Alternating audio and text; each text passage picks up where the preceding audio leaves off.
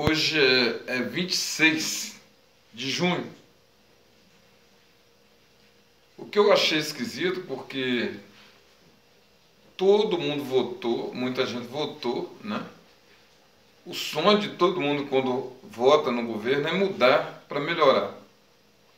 Eu nunca vi uma época tão difícil na nossa cidade aqui em Patinga que a rua não está tendo dinheiro. Tem tantas pessoas que esse auxílio estava ajudando esses 600 reais. Eu estou falando aqui em nome dos pobres, porque existe muitas pessoas, porque o sistema, o pessoal não tem terra para plantar, vive na cidade, comer asfalto, nem emprego para todo mundo tem. Agora, o, o Bolsonaro deu quatro anos de auxílio.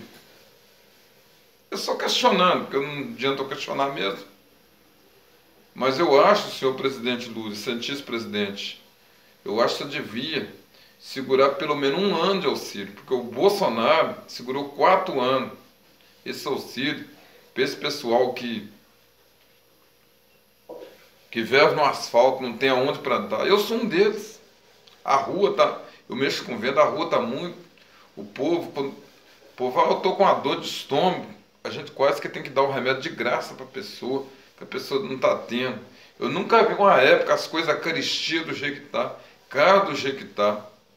Então, excelentíssimo presidente, em nome de todos que votou no senhor, na Paraíba, no Nordeste, no Brasil, que votou no senhor, com esperança de mudar, igual o senhor está emprestando empréstimo para fora do Brasil, bilhões de empréstimos.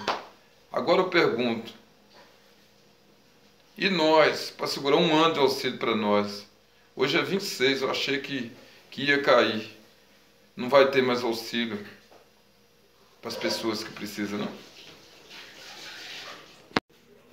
O povo vai para a internet, vários aplicativos que fala que dá dinheiro, aposta vídeo para lá, para cá, sacrafuxa a internet para tudo quanto é canto e não ganha dinheiro. E tá com menos de um mês, o governo de Luiz Inácio Lula da Silva ensaia voltar a financiar obras no exterior com dinheiro público dos brasileiros, por meio do BNDES, o Banco Nacional de Desenvolvimento Econômico e Social. Dessa vez, Lula pensa em dar aval para a obra de um gasoduto na Argentina, do aliado Alberto Fernandes, sem levar em conta que os empréstimos liberados a países considerados amigos, como as ditaduras da Venezuela e de Cuba, estão com os pagamentos atrasados.